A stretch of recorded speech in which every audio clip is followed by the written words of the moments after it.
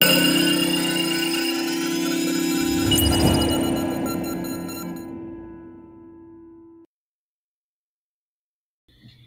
morning, South. I'm JL. And I'm Emma. And, this is the ROAR Report. Today is October 28th. Today's weather is a high of 67 and a low of 35.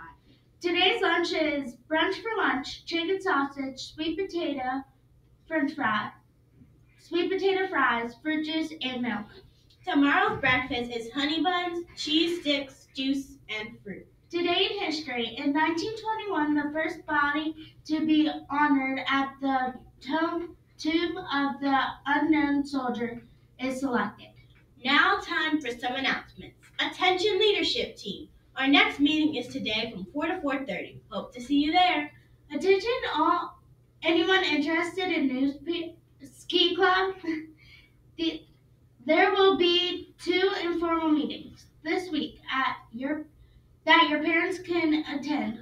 One is today at 5:30.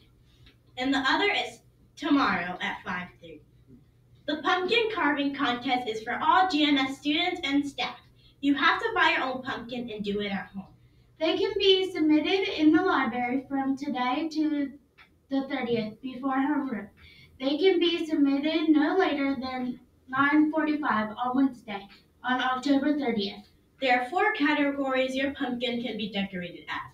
Classic Halloween theme, a character from book, movies, or TV show, something funny, or anything you want it to be, which would be in the unique category.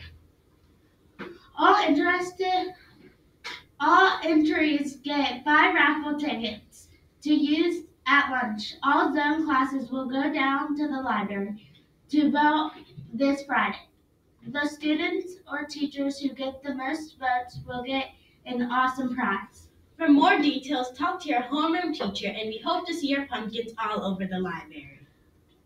Happy birthday to Noah Guest, Isabel Hunt, Dominic Patterson. words of wisdom.